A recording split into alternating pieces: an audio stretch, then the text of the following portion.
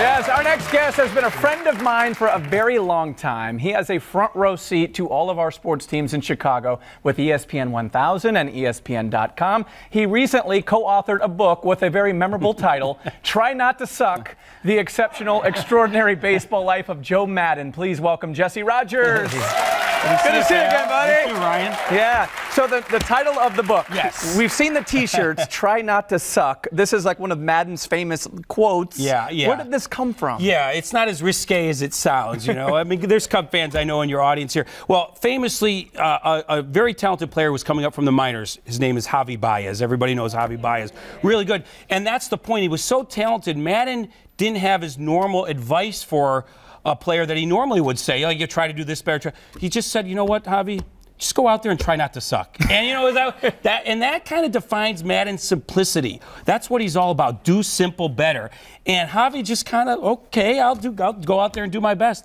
And that's just uh, sums up Joe Maddon's style. He, he, he's not a man of a lot of words. He's a man of few words, but they get right to the point, and that's that's key for messaging with a baseball team because you don't want to go on and on and on. You want to get right to the point, and he has a lot of those kind of slogans. Right. You have a lot of Joe Maddon stories in here. Yeah. He did the interviews for the book. It's not an autobiography, but it's right. you having the front row seat to his career and what he's done. Yeah. You talk about one of his life-changing moments.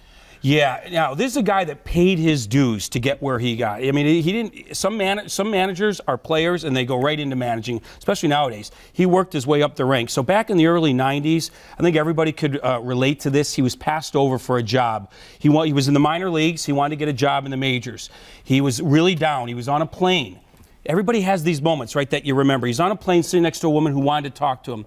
He didn't want to talk. And she got him to open up a little bit. Eventually, she told him his life sort of lesson or whatever you want to call it, epiphany moment for him. Negative will bring back negative, positive will bring back positive. And from that point on, he changed his whole attitude. And think about what you know about Joe Matt. He is always optimistic, always positive, and it stems from that moment on the plane back in the early 90s when he got passed over for a job. Yeah, the other thing I know about Joe Maddon, he loves crazy outfits. He has the Cubs dressing up in snuggies yeah. and crazy pants. We see the picture here. This goes way back. Where did this come from? Well, he wanted to loosen things up. I mean, it started in Tampa Bay. They, they uh, not a lot of attention down there, so he got some attention to his team. But he brought that wackiness to Chicago, and a lot of what he does here, there's some meaning behind it. It's not just dress up and go have some fun.